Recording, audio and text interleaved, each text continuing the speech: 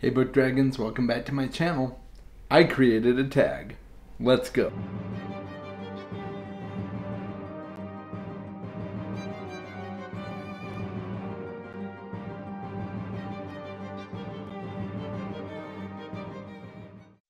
Thank you to my patrons. I really appreciate all you do to support the channel. So it seems that one of the rites of passage in the booktube community is to create a tag. And so today, I have for you a tag that I have created called the Book Dragon tag. And I have created prompts as all tags have, but I have also answered the prompts myself. You know, I could I could have just stuck with creating the prompts and let everybody else have at it, but I wanted to throw in my own answers and put myself to the challenge, see if I can actually answer my own prompts. So I hope you all have fun with this. If you have not subscribed to my channel yet and you enjoy my content, please subscribe, like the video if you're getting value out of it, and if you'd like to support me on Patreon, feel free to click the link in the description below. You can join my Patreon and you get some extra perks there as well. Without further ado, we're going to get right to the Book Dragon tag as soon as I put on my glasses here. And there we go. Are you ready? Let's do it. So the first one is Talindor from Talindor's Guest. My book. Name a book with an enormous library or book collection. And my answer for this prompt is the First Law Trilogy and it is the Library of Juvens, uh, a massive library that pops up in the story, features somewhat heavily in the story, and I really love that library. I found myself reading about it and drooling over it. So, uh, yeah, that that's my choice for that prompt. Prompt number two, Saphira from the Inheritance Cycle. Name a book or series that involves bonding to creatures. And for this one, I chose Assassin's Apprentice, uh, the, the Farseer trilogy in general, actually. Uh, that is one of Fitz's gifts, is he can bond with animals in a very strong and unique way. And now let's move on to question number three. Drogon, from A Song of Ice and Fire. Name a book series where one of the characters is virtually unstoppable. And for this one, I chose the incredibly infamous Sauron from The Lord of the Rings. Now, we know he's not unstoppable, he can be beaten, but he is virtually unstoppable. He's incredibly powerful and just an unholy terror across the land of Middle Earth and so Sauron is my choice for number three. Question number four Balerion the Black Dread, which is the dragon of Aegon the Conqueror from Fire and Blood by George R. R. Martin. Name a book or series that has gigantic beasts. And for this, I chose The Sandworms of Dune. Uh, that speaks for itself. If you're familiar with Dune, you know the sandworms uh, they easily dwarf five humans standing on top of each other's shoulders in size. They're just massive creatures and fearsome creatures to behold and just awe-inspiring. Let's move on to number five. Smaug from The Hobbit. Name a book or series that involves talking animals or beasts.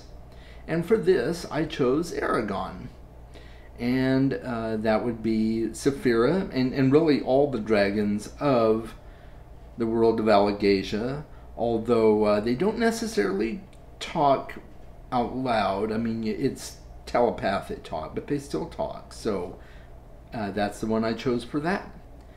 Question number six Falkor from the Neverending Story. A what dragon?